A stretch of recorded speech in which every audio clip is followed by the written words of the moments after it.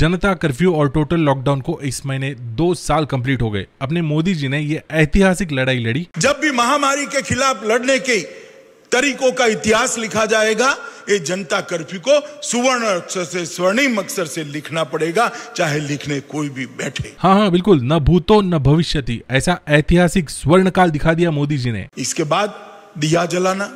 इसके बाद घंटी बजाना थाली बजाना। अबे मज़ाक नहीं कर रहा बे लोगों को बुला बुला के पैसे बांटे हैं पैसे ये ऐसे ऐसे। ना ना मैं नहीं कह रहा अपने होम मिनिस्टर साहब वो खुद कह रहे कोरोना के वक्त मोदी जी ने जो राहत भेजी है वो ही कहना चाहता हूँ इक्यावन करोड़ लोगों के बैंक अकाउंट के अंदर तिरपन करोड़ तिरपन करोड़ों रुपया। हाँ। मोदी जी ने सीधा डीबीटी के माध्यम से पहुँचाने का काम किया है। मतलब समझ जाओ यार विकास हुआ है। कुछ भी। पता नहीं ये नेता लोग कैसे कर लेते काम किए बिना एकदम छप्पन इंच वाला सीना ठोक के बोलना कि काम हुआ है। जो भी विकास हो रहा है दारू में ही हो रहा है। जोक सपाट लेकिन मुद्दे की बात करते हैं। होम मिनिस्टर साहब का ये जो भाषण है ना ये 2020 का है। और इसके ठीक छह आठ महीने बाद जब सेकेंड वेव आई थी 2021 में तब क्या हुआ था? वो सारी दुनिया ने देख लिया है। ना गलतियों का सारा बोझ हम कॉमन मैन के मत्थे नहीं मार सकते। सरकारी केयरलेसनेस ये भी बहुत बड़ा फैक्टर है। ये सेकंड वेव में होने वाले हाहाकार का। और एग्जैक्टली exactly ऐसा ही हो रहा है इन दिनों चाइना में खास करके चाइना के शंघाई शहर में। अधिक जानकारी के लिए वीडियो को एंड तक ज़रूर देखना। कोरोना अभी तक खत्म नहीं हुआ है। चैनल को सब्सक्राइब नहीं किया तो अभी अभी सब्सक्राइब कर दीजिए। इसके बाद घंटी बजाना। और घंटी बजाने के बाद ऑल नोटिफिकेशन को भी ऑन कर दीजिए। तो करना। परेशान हो गए हम लोग ढाई साल से। चाइना का एग्जैक्टली exactly क्या सीन है? किसी को कुछ समझ में नहीं आ रहा। पहले तो यार गाली दे दे एक चाइना को। जब तक चाइना को गाली ना दू मेरा दिन पूरा नहीं होता। पहले वे आपको पता है चाइना को गाली क्यों देता हूँ मैं? भाई साहब जिस कंट्री में कोविड पैदा हुआ उस कंट्री के पिछले दो साल की हालत क्या थे? किसी को कुछ पता नहीं था। कितने केसेस निकले कितने मर गए कितने लोगों को अच्छी क्वालिटी की वैक्सीन दी गई। कुछ पता नहीं। लेकिन अचानक से पिछले दो महीनों से चाइना से रिकॉर्ड ब्रेक लॉकडाउन की खबरें आने लगी। सिर्फ़ चाइना में नहीं, बल्कि हांगकांग में भी ओमिक्रॉन और उसके सब वेरियंट ने हाहाकार मचा रखा है। सारे हॉस्पिटल्स फुल है, सब लगी बड़ी हुई है हेल्थ केयर की। लेकिन आप अगर ये मैप देखोगे गूगल का, एकदम क्लीन दिखाई दे रहा है चाइना का मैप और दूसरी तरफ़ यूरोप की तरफ़ देखे तो। ये बड़े बड़े धब्बे दिखाई दे रहे हैं ना यूरोपियन नेशंस में। ये हाई डेंसिटी इन्फेक्शन है। ये देखो, कंप्लीट यूरोप इस वक्त ओमिक्रॉन और उसके सब वेरिएंट से अफेक्ट हो चुका है। यूके में भी हालात बहुत खराब होते हुए दिखाई दे रहे हैं। अभी फ़िलहाल तो कंट्रोल में है सब, लेकिन इन्फेक्शन का रेट आज तक के सारे रिकॉर्ड्स ब्रेक कर रहा है। फुल वैक्सीनेशन होने के बावजूद, बूस्टर्स देने के बावजूद, एक हफ़्ते में भाई साहब दस लाख केसेस पॉजिटिव निकल के आए हैं। हॉस्पिटलाइजेशन का रेट हालाँकि कम है, लेकिन बताया जा रहा है कि ये ऐसा ही चलता रहा। तो आने वाले टाइम में बहुत ही जल्द हॉस्पिटल्स फुल हो सकते हैं। फिर से एक बार चाइना की तरफ़ आते हैं। चाइना का जो शांघाई सिटी है, ये फाइनेंशियल हब है चाइना का और इसकी फाइनेंशियल कंडीशन पूरी दुनिया को अफेक्ट करती है। यानी कि शांघाई की इकोनॉमी में अगर कुछ हलचल हो जाती है तो उसका असर ग्लोबल इकोनॉमी पे पड़ता है। और इसी शांघाई सिटी में आज तकरीबन ढाई करोड़ लोगों को ज़बरदस्ती लॉकडाउन कर रखा है। अब उन सबका टेस्ट हो जाएगा। शांघाई सिटी हालाँकि पूरा लॉकडाउन नहीं किया हुआ है, लेकिन शांघाई से बाहर जाने वाले सारे रास्ते, सारे रेलवे सारे रिवर क्रॉसिंग सारे ब्रिज बंद कर दिए हैं। शांघाई से बाहर अगर आपको जाना है तो 48 घंटे पहले की हुई न्यूक्लिक एसिड टेस्ट और वो भी निगेटिव होनी चाहिए। वो रिपोर्ट आपको साथ में रखना पड़ेगा।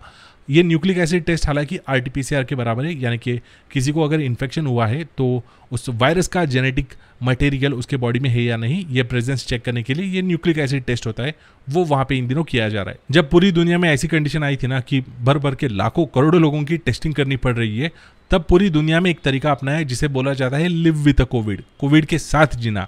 लेकिन चाइना की मस्ती यहाँ पे उतर नहीं रही है। चाइना आज भी अपनी ज़ीरो कोविड पॉलिसी पे अटल अड़ा हुआ है। वायरस के आखिरी पार्टिकल को भी ढूंढ ढूंढ के मारेंगे। ऐसा डिसाइड कर लिया है चाइना ने। आज की तारीख में अगर हिंदुस्तान में किसी को बोला जाए ना कि दुनिया के किसी कोने में सीरियस लॉकडाउन फिर से चालू हुआ है इन्फेक्शन वापस फैलना शुरू हुआ है तो लोग बोलेंगे, क्या पागल है क्या? कोई आपका विश्वास नहीं करेगा, आपको पागल करार कर दिया जाएगा वो अलग से। लेकिन भाई साहब, ये सच्चाई है कि जो इन्फेक्शन चाइना में इन दिनों फैल रहा है ना, उसके वजह से वहाँ के धंधे अफेक्ट हो रहे ग्लोबल बिज़नेस अफेक्ट हो रहा है। टेस्ला कार मैन्युफैक्चरिंग कंपनी जिसका ओनर इलॉन मस्क है, उनका प्रोडक्शन वहाँ पे टेम्पररी बेसिस पे रुकाना पड़ा है। इलॉन मस्क को खुद को कोरोना हुआ है। शंघाई सिटी के बाहर सिलिकॉन वैली में कुछ हद तक लॉकडाउन लग चुका है, जिसके वजह से सेमीकंडक्टर का बिज़नेस और खास करके सप्लाई चेन मैनेजमेंट पे थोड़ा बुरा असर दिखाई दे रहा है। तो मुझे लगता है आने वाले कुछ दिनों में कंप्यूटर के पार्ट्स के प्राइस बढ़ जाएँगे पेट्रोल की तरह। हालाँकि चाइनीज़ अथॉरिटी ने गारंटी दी है कि चाहे कुछ भी हो जाए, हम चाइनीज़ इकोनॉमी को किसी भी हालत में सफ़र नहीं करने देंगे। लेकिन लॉकडाउन भी लगेगा ज़ीरो कोविड पॉलिसी के साथ। मस्ती कम नहीं होगी हमारी। हांगकांग ने भी पिछले दो महीनों में बहुत कुछ जलाई, जिसके वजह से वहाँ पे भी अथॉरिटीज ने वैक्सीनेशन का स्पीड बढ़ा दिया है। बुज़ुर्ग, दिव्यांग, ऐसे लोगों को घर जा, जाके वैक्सीन दी जा रही है। हालाँकि अब बहुत देर हो चुकी है, ये बिल्कुल ऐसा है जैसे पहले बच्चा हुआ है, अब शादी करनी है, इसलिए कार्ड छपाने का ऑर्डर देना है। बाय द टाइम इंडिया से एक बहुत अच्छी न्यूज़ निकल कर आई है और इस न्यूज़ के लिए मैं मोदी जी को दिल से थैंक यू बोलना चाहूँगा।